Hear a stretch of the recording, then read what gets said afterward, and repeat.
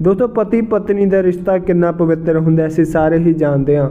ਉੱਥੇ ਇਹ video social media ਤੇ ਬਹੁਤ ਹੀ ਵਾਇਰਲ ਹੋ ਰਹੀ ਹੈ, ਜਿਸ ਨੇ ਸਾਰਿਆਂ ਨੂੰ ਹੀ ਭਾਵਕ ਕਰਕੇ ਰੱਖ ਦਿੱਤਾ ਹੈ।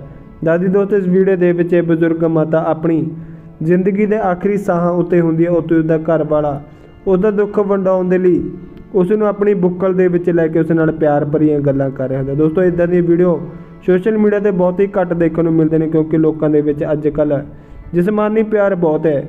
ਉੱਥੇ ਇਸ ਵੀਡੀਓ ਨੂੰ ਦੇਖ ਕੇ ਲੋਕਾਂ ਦਾ ਕੀ ਕਹਿਣਾ, ਤੁਹਾਨੂੰ ਵੀ ਲੈ ਕੇ ਚੱਲਦੇ ਹਾਂ ਕੁਝ ਕਮੈਂਟਾਂ ਦੇ ਵੱਲ। ਇੱਕ ਦੇ ਲਿਖਣਾ ਰੂਹ ਦਾ ਸਾਥ ਮਰਨ ਤੋਂ ਬਾਅਦ ਵੀ ਰਹਿੰਦਾ ਜਿਸਮਾਂ ਦੀ ਭੁੱਖ ਤਾਂ ਨਾ ਅੱਜ ਮੁੱਕਣੀ ਹੈ, ਨਾ ਕੱਲ ਅਤੇ ਅਗਲੇ ਦੇ ਲਿਖਣਾ ਬੰਦੇ ਦੀ ਕੀਮਤ ਬੰਦੇ ਦੇ ਜਾਣ ਤੋਂ ਬਾਅਦ ਪਤਾ ਲੱਗਦੀ ਹੈ। ਇੱਕ ਦੇ ਲਿਖਣਾ ਅੱਜ ਕੱਲ ਸਭ ਜਿਸਮਾਂ ਨੂੰ ਭਾਲਦੇ ਨੇ, ਰੂਹਾਂ ਨੂੰ ਚਾਉਣ ਵਾਲਾ ਹੁਣ ਕੋਈ ਨਹੀਂ ਰਿਹਾ। ਬਾਕੀ ਦੋਸਤੋ, ਤੁਹਾਡੇ ਇਸ ਵੀਡੀਓ ਪ੍ਰਤੀ ਕੀ ਵਿਚਾਰ ਹਨ? ਤੁਹਾਨੂੰ ਇਹ ਵੀਡੀਓ ਕਿਵੇਂ ਦੀ ਲੱਗੀ? ਤੁਸੀਂ ਸਾਨੂੰ ਆਪਣੇ ਵਿਚਾਰ ਕਮੈਂਟ ਬਾਕਸ ਵਿੱਚ ਕਮੈਂਟ ਕਰਕੇ ਜਰੂਰ ਦੱਸਿਓ ਅਤੇ ਇਸ ਵੀਡੀਓ ਨੂੰ ਵੱਧ ਤੋਂ ਵੱਧ ਲਾਈਕ ਅਤੇ ਸ਼ੇਅਰ ਜਰੂਰ ਕਰ ਦਿੰਦੇ ਹੋ। ਇਜਾਜ਼ਤ ਰੱਬ ਰੱਖਾ।